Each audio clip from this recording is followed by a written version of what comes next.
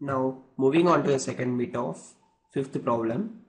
He has asked us to prove that cos a by 1 plus sin a plus 1 plus sin a by cos a is equal to 2 times secant a.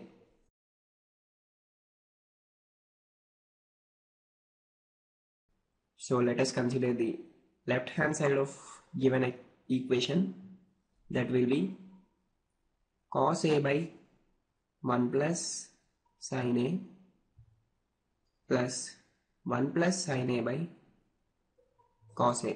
And now let us simplify this which is equal to let us take LCM as 1 plus sin a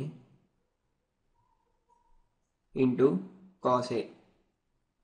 Then the numerator becomes cos a into cos a is nothing but cos square a plus 1 plus sin a into 1 plus sin a is nothing but 1 plus sin a whole square.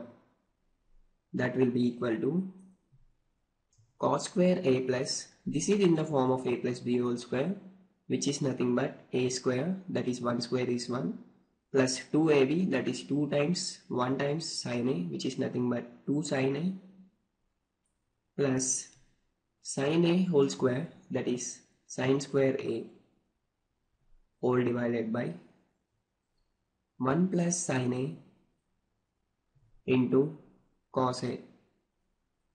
That will be equal to let us write together the terms sin square a and cos square a plus 1 plus 2 sin a whole divided by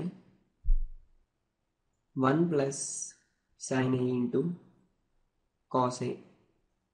Now we have an identity that sine square a plus cos square a is equal to 1. Let us substitute that. Then it becomes 1 plus 1 plus 2 sine a by 1 plus sine a into cos a which is equal to 2 plus 2 sine a divided by 1 plus sin a into cos a which is equal to let us take 2 common in the numerator then we get 1 plus sin a by 1 plus sin a into cos a. In the numerator and denominator 1 plus sin a is common and that gets cancelled.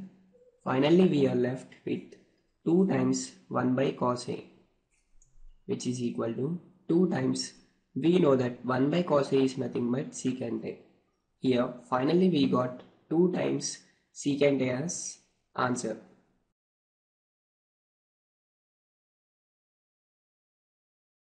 Then which is nothing but our right hand side. So here LHS is equal to RHS and hence we proved the given relation between the trigonometric ratios.